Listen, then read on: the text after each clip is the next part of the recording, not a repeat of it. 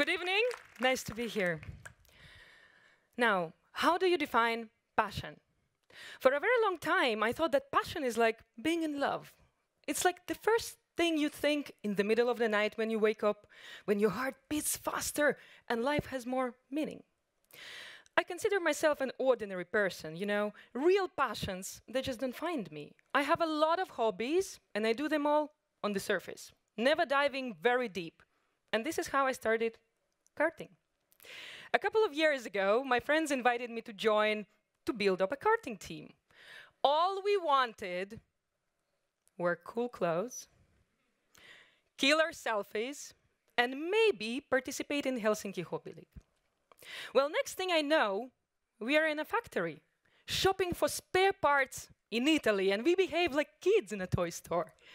And next thing we do, we go to the nearby track in Migliaro, and we try to build our karts.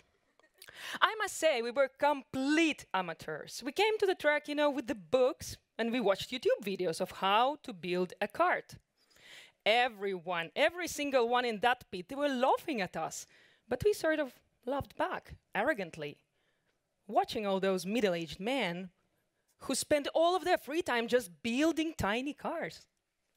Well, it happened so that a Finnish pro driver and his mechanic were at the track with us at the same time, and I think out of pity, they helped us a lot in the beginning. You know how really big ideas sometimes are born on restaurant napkins, right?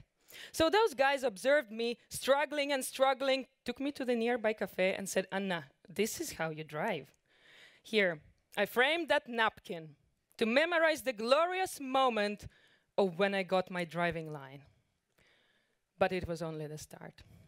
Next thing I know, I'm going and I'm driving to Lappeenranta, to the Finnish Professional Championship, to the first race of the season, to help my friend with the mechanical things.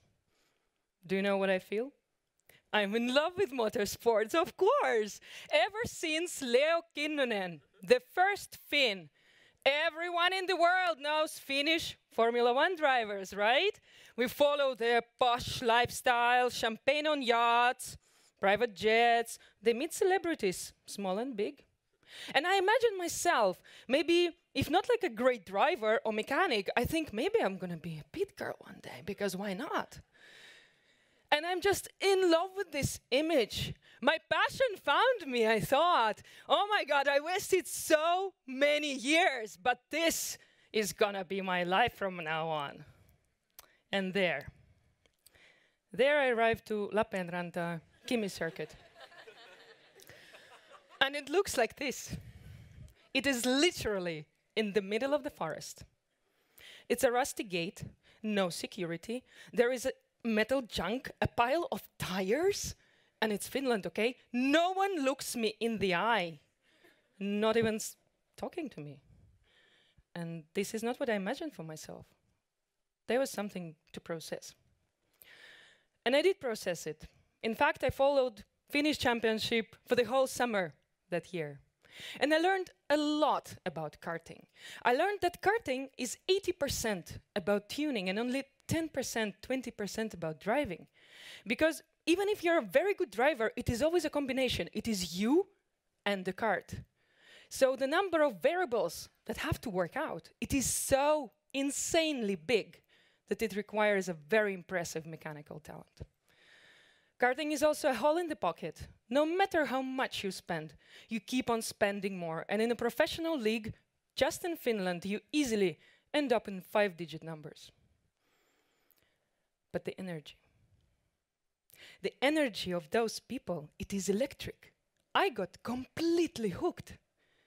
Even though, you know, some of those guys might not have impressive university degrees, they might be not career ambitious. They're all united with this one passion for motorsport. They live in this world with its own secret language. Some mechanics are so good, they can tell what is wrong with an engine just by the sound of it on a certain turn of the track. I was mesmerized by their professionalism. In fact, I became passionate about all those people. Well, fair to say, you know, this all didn't come from nowhere. There is something about driving that I truly love, be it the sound of an engine, or this feeling of control over the mechanism, or the state of active meditation when it is you, car, the road, and maybe the next turn. So when everyone around me is excited about autonomous driving, I'm not. In fact, I'm scared because I know how much I will lose.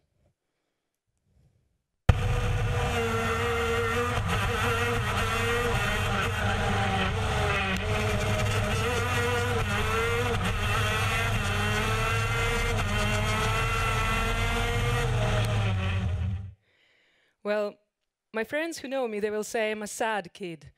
But I tried and tried and tried to understand why in the forest, on a karting track, why this moment made me so honestly happy. Well, through karting, I understood that passion is very, very hard work. And it's all about persistence. But it is not necessarily about just one activity. It is rather those small moments that make you stay in the moment and enjoy oneself at fullest, feel more alive and connected to others. So, knowing that now, I wish every single one of you today find those moments that work for you in this way and be passionate about life. Thank you.